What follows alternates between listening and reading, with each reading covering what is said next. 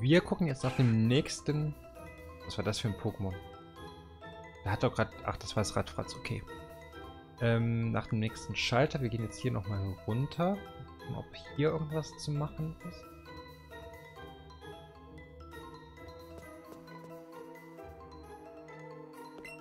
Ne, Hyperbälle. Jetzt hier einmal rum. Ne, hier kann man nicht rumgehen und da ist, sind die Türen offen. Das heißt, wir müssen erstmal den Schalter betätigen. Bevor wir hier weitermachen können. Das war der Dieb.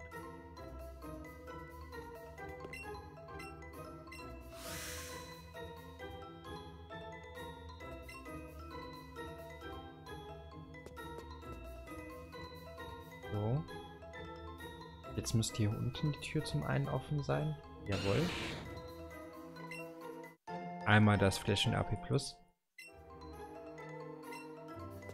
Tagebuch 10. Juli.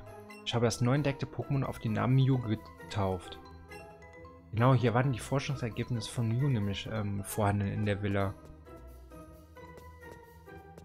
Stimmt, das, äh, daran erinnere ich mich gerade wieder. Gucken wir mal das nächste.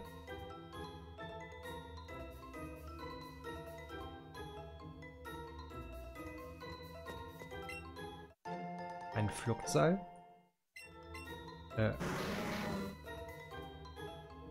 Okay. Da ging eine Leiter runter zu dem Trainer. Wir müssen also nochmal hochsteigen.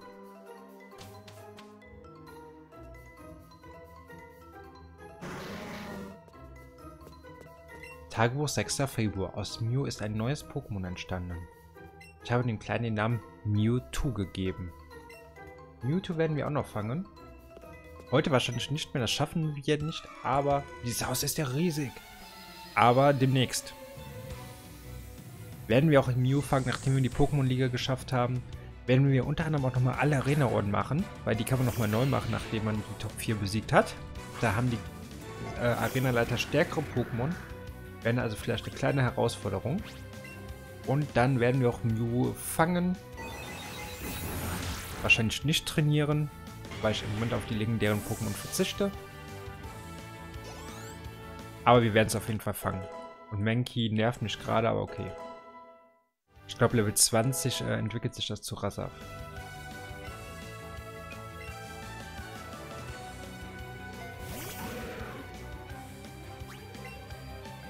Wir müssten schon, dadurch, dass ich auch ein paar Pokémon getauscht habe, sollten wir fast den Pokédex schon Richtung voll bekommen.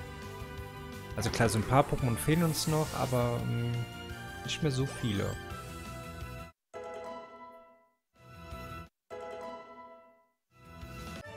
Gut geklaut ist halb gewonnen, aber eben nur halb. Ich hoffe, dass wir uns jetzt keinen ähm, Genickbruch damit machen, dass wir halt die Pokémon nicht mehr trainieren, also nur noch vier Pokémon trainieren. Und die anderen in unserem Team praktisch erstmal sich selbst überlassen. Wir sehen. Das haben wir gelesen. Jetzt. Moment, hier ging es nicht weiter. Äh. Menki entwickelt sich auf Level 28 erst. Krass. Ach, da, da ging es auch hoch. Scheiße. Level 28 ist ja ewig gefühlt.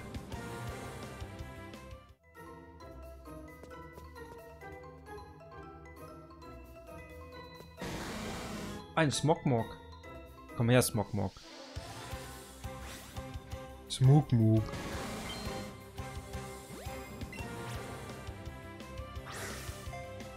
Ja, es ist riesig und ich bin wieder zu blöd, es zu fangen. Ach ja. Jawohl.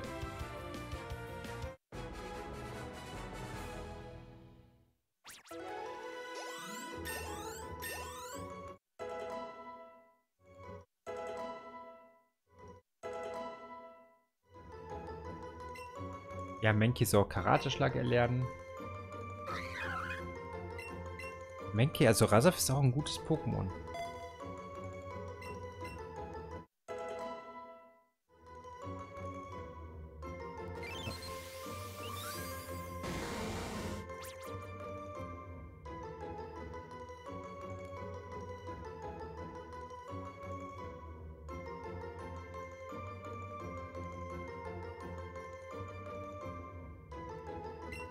So, sorry. Ah, jetzt habe ich vergessen, den Pokémon-Eintrag vorzulesen. Egal.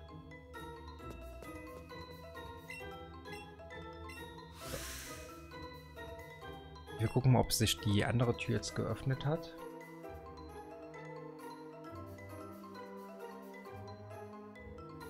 Moment mal, da konnten wir auch hochgehen.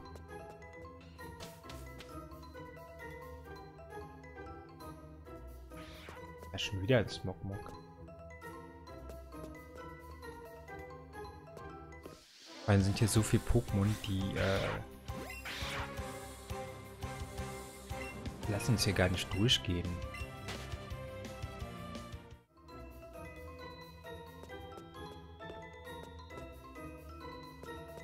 Okay.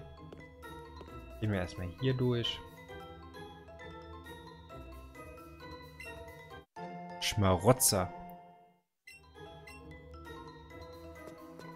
Ja, den Pokémon-Eintrag vergisst sich auch immer ähm, vorzulesen. Ja, passiert.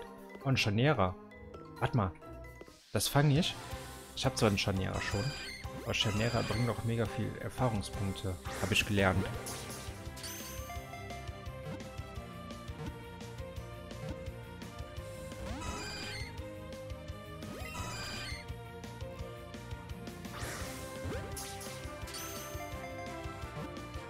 Und dann, das ist gut für das Menki und das Dings. Ähm, Tragosso.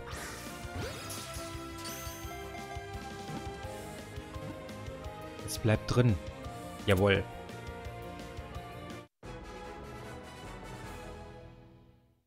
Ich weiß noch, wie selten Chanera früher war in der ähm, Safari-Zone.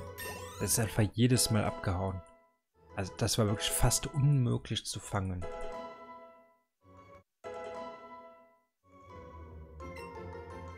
Das ist ja zum Glück hier jetzt einfacher. Das hat mich so angekotzt. Vor allen Dingen, dann hat man endlich mal einen Scharnierer gefunden, was mega selten war. Dann hat man einen Pokémon-Ball versucht zu werfen, was gar nichts gebracht hat. Du musst das ja erstmal füttern. Oder einen Stein werfen in der Safari-Zone. Und danach konntest du es erst fangen.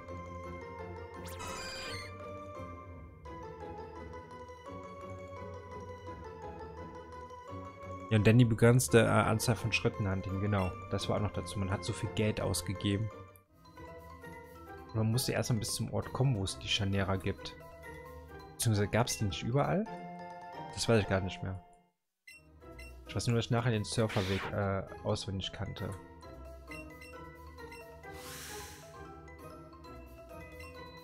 Ach komm, Radfratz.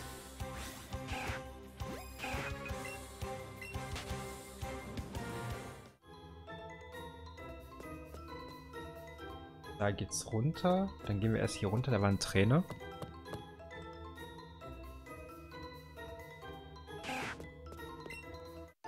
Oh, fünf Silber silberne Himbeeren. Nice. Mehr. Wer bist du? Hier sollte eigentlich niemand sein. Ich bin aber hier. Noob.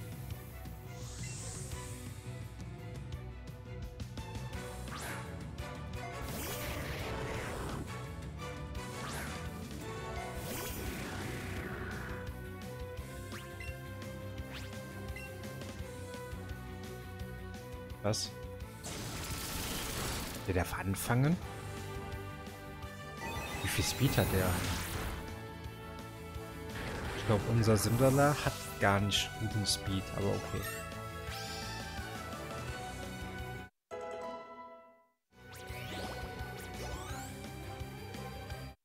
Zum Menki schon Level 17.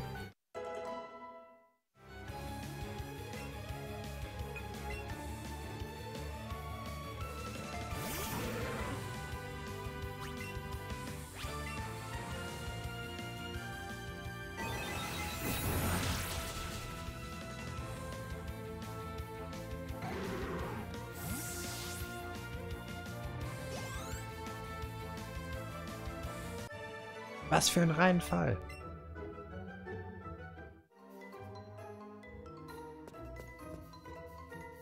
Da ist auch noch ein Pokéball.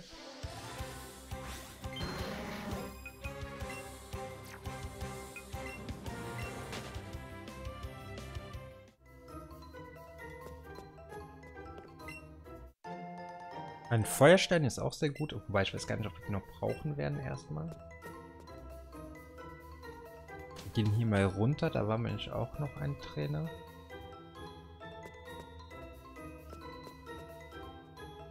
Okay, hier ist auch noch ein Raum. Oh nein, ich habe mich verlaufen. Wo bin ich hier nur gelandet?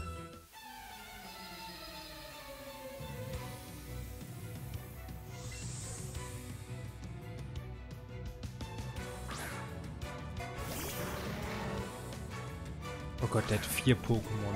Nervig. Einmal Psystrahl. Das wird wahrscheinlich jetzt viermal Psystrahl werden und alle weg. Der Rums muss aus die Maus.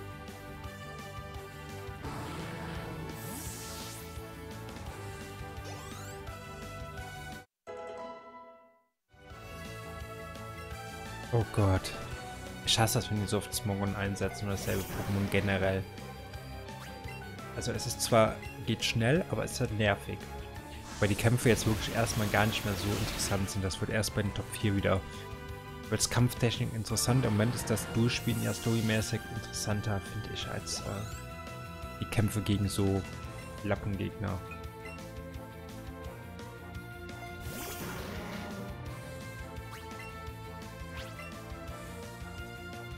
Oder ich muss halt schlechtere Pokémon einsetzen, das ist ja auch, das ist ja unrealistisch, also. Ja.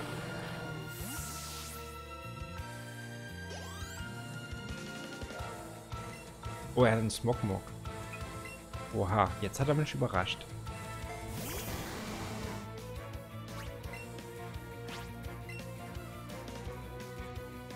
Sollte aber relativ schnell trotzdem gehen.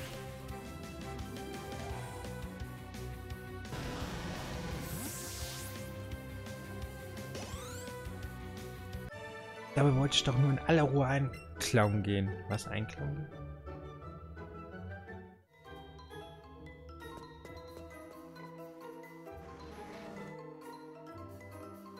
Da ist auch noch ein Pokéball. Ein Top-Trank. Jetzt muss hier irgendwo gleich ein Schalter sein.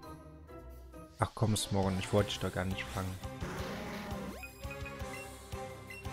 Boah, überleg mal, wie, wie viel äh, Zeit man sich erspart durch die ganzen Random-Kämpfe, die es hier nicht gibt. Stellt euch das mal vor, man würde über die Random-Kämpfe noch haben. Tagebuch, Eintrag 1. September. Mewtwo ist zu stark für mich. Ich bin außerstande, seine unkontrollierten Wutausbrüche einzudämmen. So, einmal Matschbombe.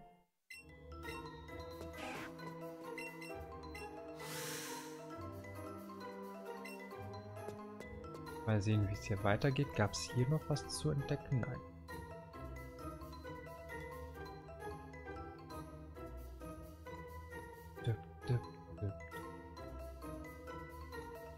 So, hier einmal weiter gucken. Hier gibt es noch einen, ein Bett zum Ausruhen. Oh,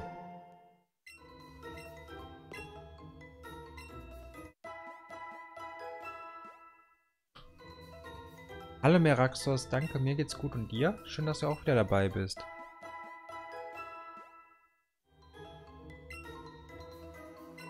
Äh. Achso, ich darf nicht mehr drücken, sorry. Hier ist so schön viel Platz, ein idealer Ort für meine Forschungsarbeit. Ja, äh, schön. Das freut mich, dass es dir auch gut geht. Äh, Mera... Ah, ich vergesse den Namen immer. Meraxos. So. Leute.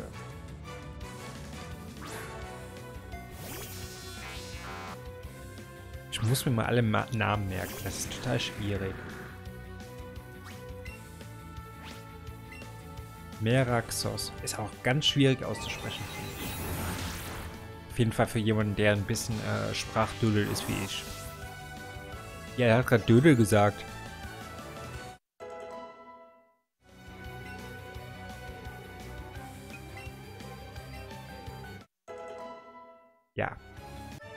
Was mache ich bloß?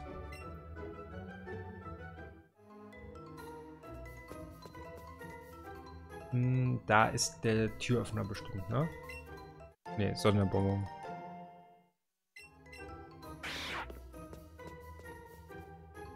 Okay, wir müssen den anderen noch ähm, betätigen und dann sind wir hier im letzten Raum. Ich wundere, dass hier kein legendäres Pokémon ist. Das wirkt hier gerade so ein bisschen. Den ganzen Scheitern, als wäre da ganz am Ende halt irgendwas Cooles.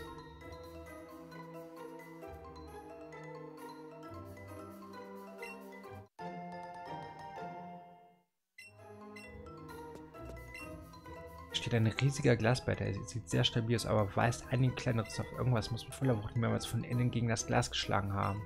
Das war bestimmt Mewtwo. Da ist der Schlüssel.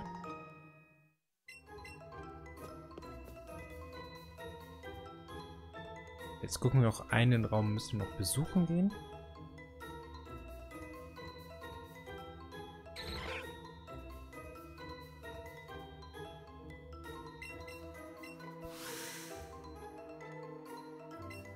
das jetzt klappt. Jawohl. Gehen wir einmal hier hoch.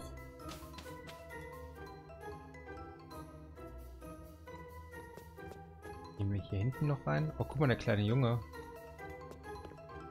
Ich verrate jetzt mal was. Wenn man auf das Feld tritt, wird man zum Eingang zurück teleportiert. Na, da staunst du was. Gut, damit haben wir wohl die, äh, was? Ja. Damit haben wir die Level abgeschlossen, würde ich sagen. Easy.